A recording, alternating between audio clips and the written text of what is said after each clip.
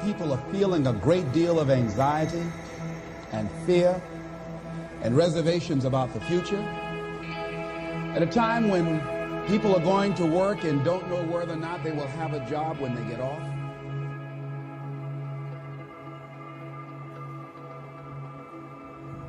Look at your life right now. Whatever you've done up to this point in time, your life is working. Whatever you have produced, it came out of you as a result of the kind of person that you have become. It's a result of your choices. It's a result of your consciousness. Now you have to ask yourself, are you satisfied with what you have produced?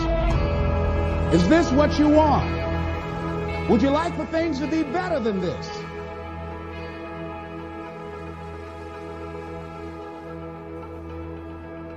And if you don't know what it is that you showed up to do, if you don't know why you're here, I encourage you to find out what your purpose is here. What is the meaning of your life?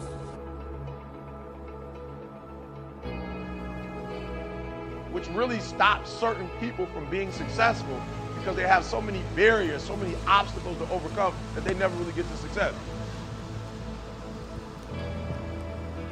Either they can't see it or at some point they thought they saw it and they let somebody talk them out of seeing it. It's a natural inclination for us to put ourselves down. See, we are born negative, I think, in a negative consciousness because we live in a negative world. Begin to guard your mind against negative programming. Like turn off the television. Don't watch the news. Think that, that, that more people have a sense of hopelessness and anxiety about life. If you look at the news, you cannot feel good looking at the news. Don't pick up the newspaper and read it. No, no. I just try this. Just experiment with yourself.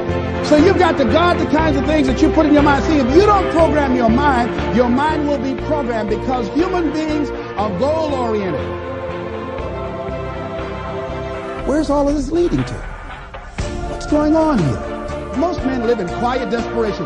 Most of us go through life running scared. Why is it that most people better than what they're doing if they're capable of doing it.